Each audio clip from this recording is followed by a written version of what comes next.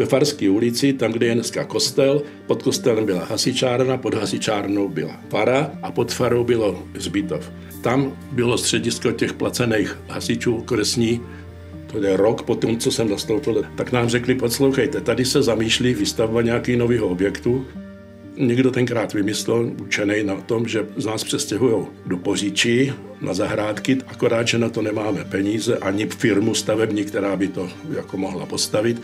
Takže nejlepší systém bude to, když si to hasiči postaví sami.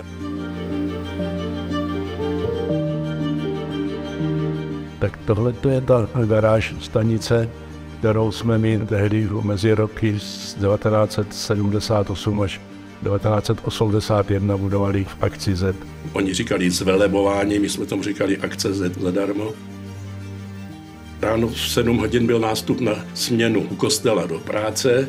Hasiči nasadili montérky, vzali cisterny a jelo se do Poříčí na stavbu. Že nám přivezli hromadu betonu sem a my jsme kolečkama vozili po zemi sem na, na, na zem ten beton a rozhrávávali, aby jsme chytili tu správnou rovinu a ten správný sklon.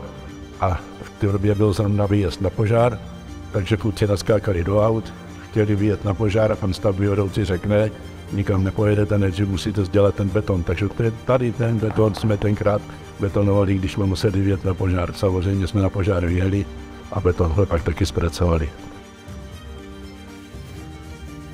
Dětství jsem měl skromný, ale hrozně šťastný. Bydleli jsme o Havlovicích a ta školní docházka na vesnici byla prostě nádherná. To dětství do čtvrté třídy bylo v rodinném kruhu. Léto řeka Rybník, zima sáňky v brusle líže. Dětství prostě jsem měl nádherný. Moji rodiče nehráli na nic nikdy. Moji rodiče byli ochotníci. Maminka hezky zpívala, tatínek taky jako docela dobře zpíval, ale nebyli to muzikanti. Můj brácha učil se tam hrát na tenor, tedy na baskřídlovku. A mně se to líbilo, když, když hrál doma na to. A já jsem řekl, mami, já bych taky chtěl hrát na něco. A tak a táta říkal, no tak tě dáme do hudební školy, když mohl brácha, tak půjdeš taky. Tak jsem se učil hrát tedy na křídlovku a zároveň na trubku, to je vlastně stejný. Už i na základní škole na Lánech jsme měli takový nějaký školní soubor. No a samozřejmě, že v hudební škole v Upici jsme měli tedy žákovskou dechovku při základní umělecké škole v Upici a hráli jsme už jako žáci v základní škole. Po devátý třídě, když už jsem to dělal hudební školu, tak si nás vytáhl pan kapelník Jary do městské dechový hudby v Upici tady si sedni vedle tohohle pána, sleduj noty, jak to ten pán hraje, budeš hrát s ním, líbí se ti to dobrý a tak jsem zapad hezky do toho kolektivu ty upické hudby, takový hezký úvod do toho mého muzikantského života.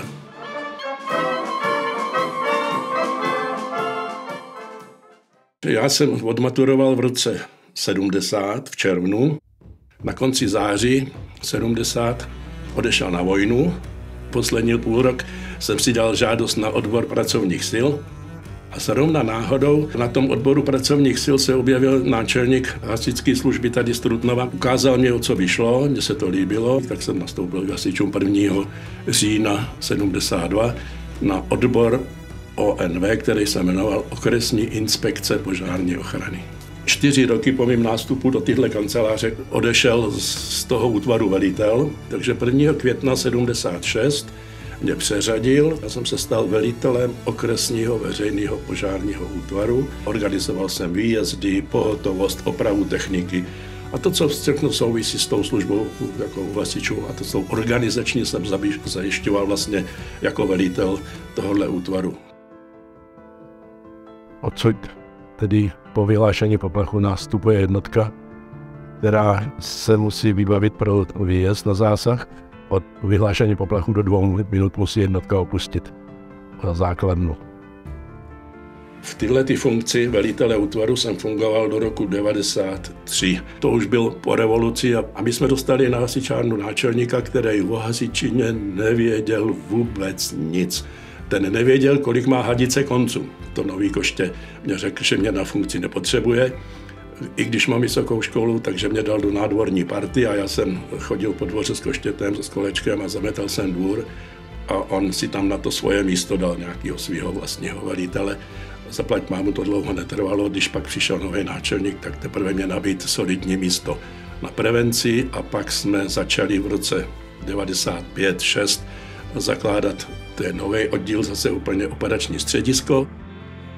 Na jednom místě seděl operační důstojník, na druhém seděl operační technik a vyřizovali jsme tisňový vlády celého okresu.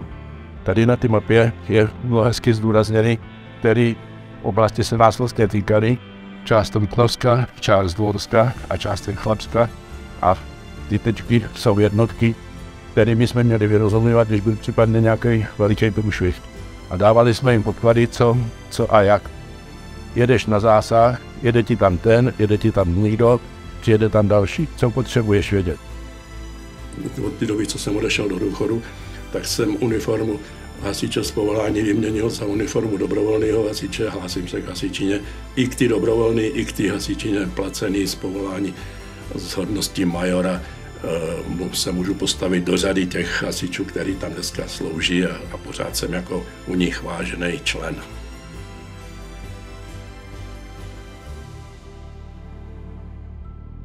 Tak tady v tom prostředí já jsem strávil hodně času. Eh, dostali mě sem vlastně pozvánka na darování krve, kterou jsem dostal od Červeného kříže tehdy, když jsem se vrátil z vojny.